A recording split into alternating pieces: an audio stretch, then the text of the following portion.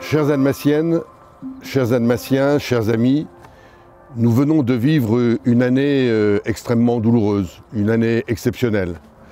Dans nos gestes quotidiens, dans la manière de nous saluer, dans nos activités culturelles, dans la manière d'être près des autres, beaucoup de choses ont, ont, changé.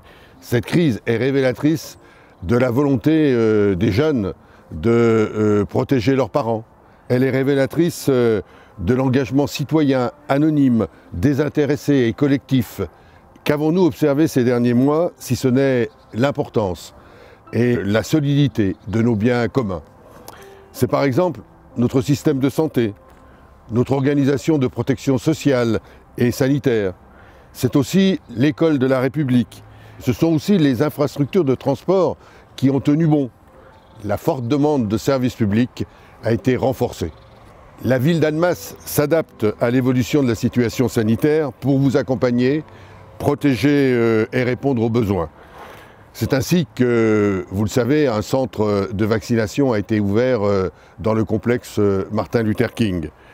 La gestion de crise n'entame aucunement notre engagement pour l'avenir. Le Grand Genève a des atouts extraordinaires qui lui permettent de continuer d'avancer. Annemasse, à son rythme et avec ses méthodes de concertation, poursuit son évolution euh, sociale et euh, écologique. En 2021, grâce à, votre implication, nous verrons ainsi euh, plusieurs projets se réaliser. À l'angle, par exemple, de la rue de Genève et de la rue du Salève, un nouveau parc sera mis à disposition des habitants. Château Rouge verra sa grande salle s'ouvrir euh, à l'automne prochain.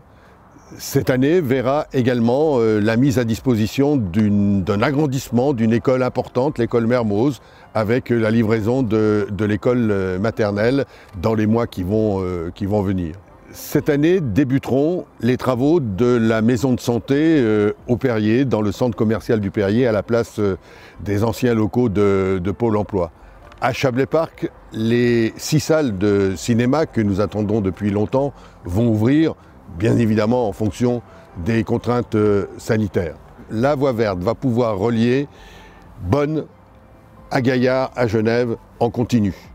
Nous allons lancer les chantiers concernant la piétonisation et la deuxième tranche du tram. Quant à la gare d'Annemasse, euh, bah, vous le savez, elle va prendre son caractère euh, définitif petit à petit. Vous le voyez, la ville d'Annemasse continue son développement avec euh, dynamisme, avec une vraie volonté de transformation pour améliorer le cadre de vie. Tous ces projets, toutes ces constructions sont pour bâtir la ville d'Annemasse que nous voulons construire avec vous une ville où nous pouvons bien vivre ensemble. Chers amis, je vous remercie et, vous souhaite à tous, et particulièrement aux, aux, plus fragiles, aux plus démunis, à ceux qui sont touchés par la maladie, au personnel soignant, à tous ceux d'entre nous qui euh, nous permettent de faire face, je vous souhaite une très bonne année 2021. Et surtout, prenez soin de vous.